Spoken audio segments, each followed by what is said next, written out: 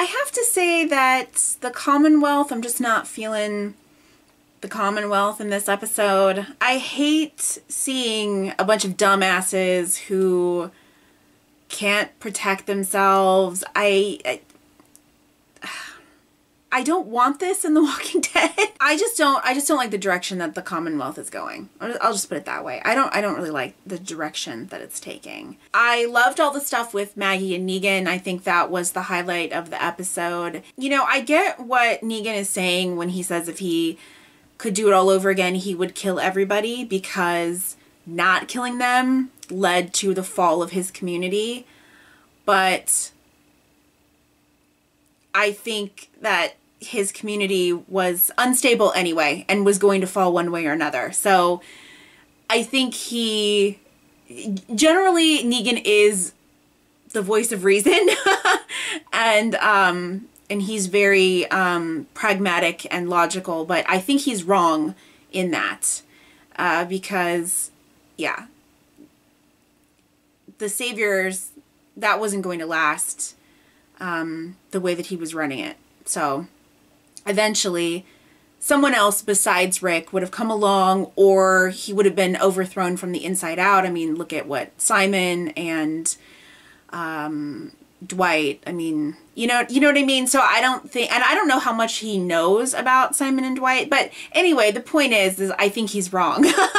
I think he just needed to do everything differently, not just uh, wiping out Rick's people. But I can understand from, you know, just his perspective of, well, that is directly what led to the fall of my community, then, you know, sure. Um, but I think you need to walk it back a little bit further than that, is what I'm saying.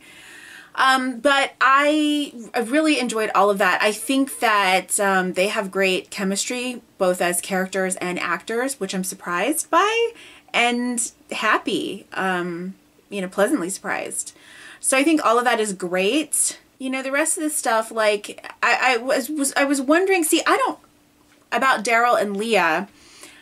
I was kind of surprised that they were off on their own. Pope must really trust her, I guess.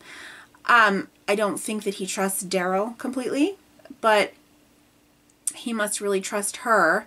I thought it was clever how he was I think Daryl was trying to feel Leah out and see basically, you know, how whether or not he could tell her the truth. And it seems like he was about to in that final scene, but then they got called away.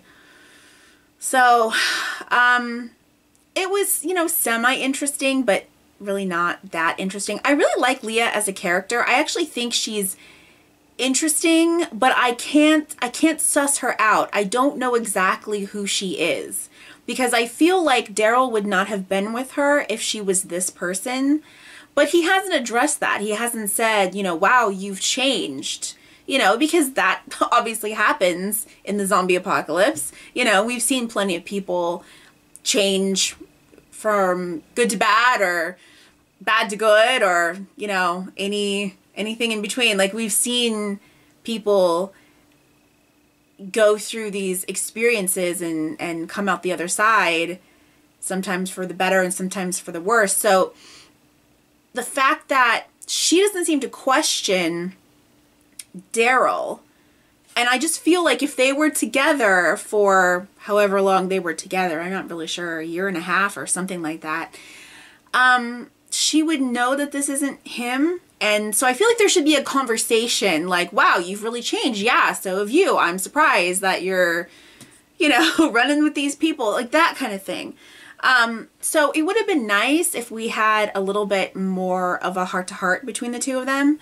Um, I do think that on the surface, though, that Leah is an interesting character. I just, I can't really tell because we didn't know her before, except for that one flashback episode. I can't tell if this is unlike her or if she's just, you know, like if she's just broken and this is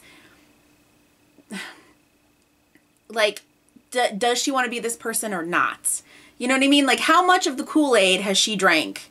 Um I I don't know. So this would have been a good opportunity for Daryl and Leah to have like an honest conversation and they were leaning into that a little bit, but not enough, I think, for my taste. I am really interested in the army of walkers that uh, Maggie and Negan have accumulated. so that'll be interesting. I'm guessing that they're going to hit Meridian with those walkers in the next episode because that's 1108. So presumably we're going to get some good action. Um, but I have no idea what's what the result of that is going to be. I hope that we just wipe out the Reapers because I'm just not interested. I'm assuming that Leah is going to end up with our people. Uh, and I don't hate that if if it's like if it's good. like if it's good, then that's that's okay. Um, but how would Maggie feel about that? You know what I mean? So I, I don't know. I can't tell. Maybe she'll die heroically, which is probably the best thing for her character um, at this point, for her to die, you know, saving Daryl, for example. Um, so, but I do want this Reaper storyline wrapped up. I really do. It's just not working for me. And I want. I I wanted more the Commonwealth, but I don't like the direction that the Commonwealth is going in either. So, yikes. I don't know. And I have to say that I was kind of bored uh, at times in this episode as well. So, once we finish um, 1108 next week, I'm going to do a 11A wrap up um, because I just want to feel, I feel like I want to talk about this first third of the final season.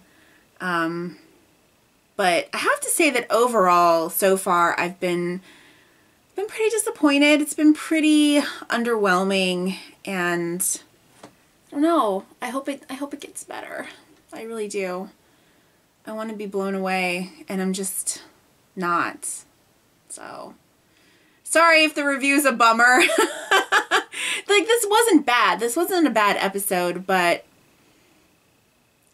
you know, I was thinking about it because I loved seasons 9 and 10 so much. And when I came into season 9, my expectations, because I had quit the show for two and a half years. So I had quit after season 8, and when I came back to it, my expectations were down here. And the show surprised the hell out of me and delivered way up here, right? So then when I came into season 10, my expectations were up here and it delivered and in some cases exceeded those expectations again. So coming into season 11, my expectations are up here now because it's the final season and I just feel like it's kind of hitting right about down here, you know what I mean? And so I guess what I'm trying to say is I don't know how much of this is like is the show really not that good? Or is it just my expectations being way the hell up here that's making me feel a little disappointed? So I don't know. I'd be interested in your thoughts if you're having the same kind of experience that I am. so anyway, that's it for now. I'll see you next week. Thanks so much for watching. Bye.